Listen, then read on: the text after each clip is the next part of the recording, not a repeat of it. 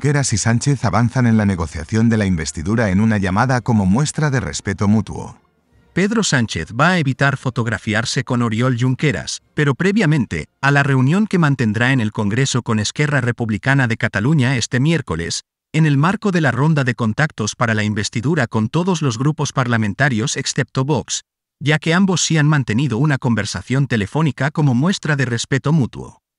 En ella, el líder del Partido Independentista ha trasladado al presidente del Gobierno en funciones la necesidad de avanzar en la negociación de las principales demandas que exige, a cambio de los votos de su partido, entre ellas, la amnistía para los condenados y procesados por la consulta ilegal del 1 de octubre y un referéndum de autodeterminación en Cataluña.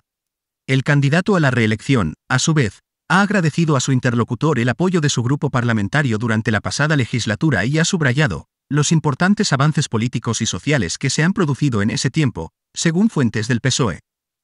También ha expuesto su proyecto para los próximos cuatro años y la necesidad de alcanzar un acuerdo de avances y estabilidad para este periodo.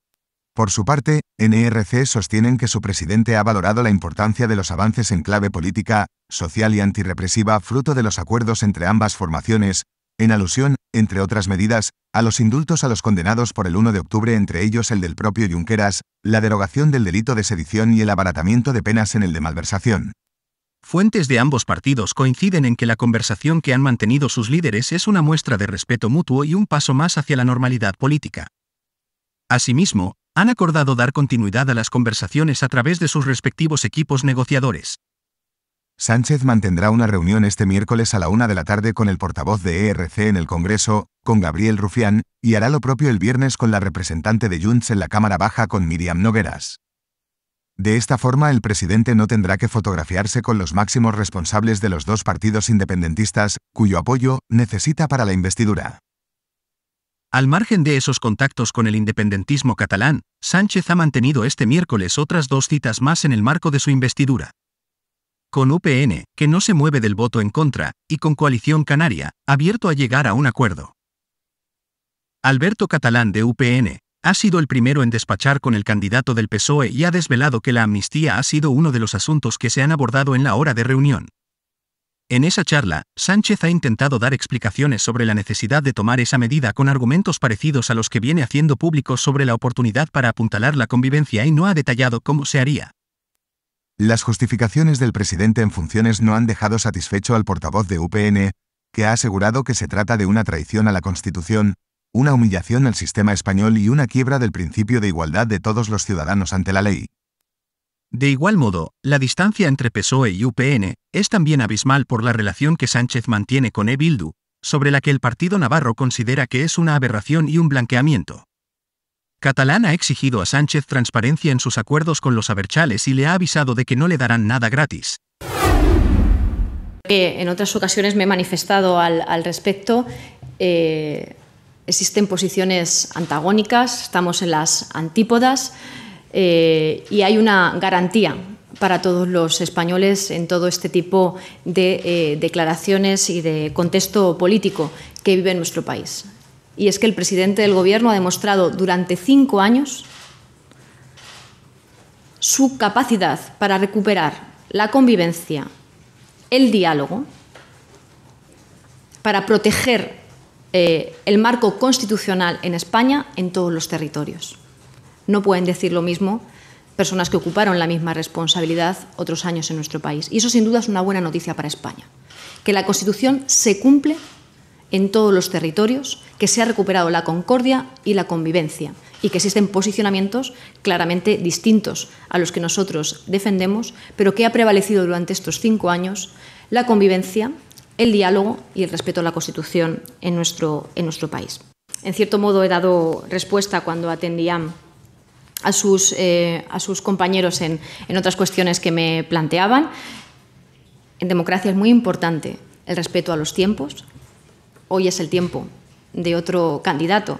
Estamos muy expectantes a todo lo que pueda ofrecer en esta última semana, después de estos 20 eh, días desde que se comprometiera a acudir a esta sesión de, investidura y, por tanto, creo que en el respeto a, a los tiempos, ahora a quien le toca hablar a los españoles y a los grupos parlamentarios es al candidato a la investidura. Eh, por nuestra parte, si finalmente el presidente del Gobierno eh, tiene el encargo de Su Majestad el Rey, creo que también con rotundidad se ha manifestado en distintas ocasiones. Trabajaremos para intentar configurar un nuevo gobierno de progreso que continúe con el trabajo que ha venido desarrollando el Gobierno de Pedro Sánchez durante estos años, que es un trabajo positivo para la inmensa mayoría de los españoles en forma de mejores salarios, de mejores pensiones, de mayor protección, de nuevos derechos y libertades. Esa es eh, la ambición del presidente del Gobierno, el seguir mejorando y que España siga avanzando eh, y para ello pues eh, daremos cuenta, si es que llega el momento, con absoluta transparencia de cuál es el trabajo que llevaremos a cabo para, forjar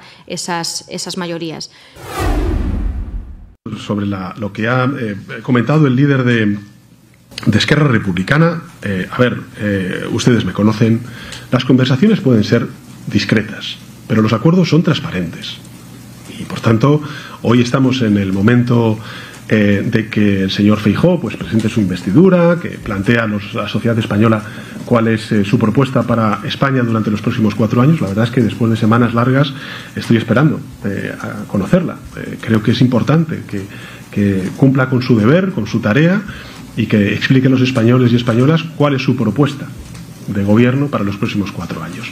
Luego, pues eh, si fracasa, como parece que hasta incluso ellos mismos, el propio candidato, da por fracasada su investidura, eh, espero que el jefe del Estado pues eh, haga otra ronda y yo pueda ser designado candidato. Y ahí hablaré con total franqueza, con total transparencia sobre cuáles van a ser las líneas maestras de una hipotética administración liderada por el Partido Socialista. Pero ya les adelanto que será coherente con lo que hemos hecho. Es que yo veo eh, algunas cosas que dicen no solamente eh, en este caso la oposición, sino medios de comunicación claramente conservadores, donde, eh, bueno, en fin, llevamos cinco años donde solamente se vierten profecías apocalípticas que nunca se cumplen. Que si España se rompe, que si España se hunde, que si la nación y la esencia española se sienten atacadas en su, en fin, en su esencia. O sea, nada de eso se cumple. Al contrario, eh, nosotros eh, tomamos las riendas de este país en el año 2018. Una sociedad que estaba traumatizada por un desgarro el del 2017, una crisis institucional y constitucional como no se había vivido en los últimos 40 años. Y los resultados están hoy visibles. Los hechos nos avalan. La sociedad catalana ha dicho sí a la política de reencuentro que ha impulsado el gobierno de España desde hace cuatro años. L'amnistia és, per tant, una eina més en el camí per poder decidir democràticament el futur del nostre país. I nosaltres ni volem, ni podem renunciar al dret a l'autodeterminació, perquè ens és inalienable, perquè ens pertany fins i tot en el cas que alguns d'aquest país no el volguessin exercir. Perquè l'autodeterminació, perquè la democràcia és el camí i és l'únic camí que ens plantegem. No renunciarem a defensar la democràcia. No renunciarem a defensar tots els drets democràtics i no renunciarem, per tant, a defensar un dels drets democràtics més fonamentals, que és el dret a votar. Estem aquí per defensar l'amnistia. Estem aquí per defensar l'autodeterminació de Catalunya. Estem aquí per reivindicar l'1 d'octubre del 2017.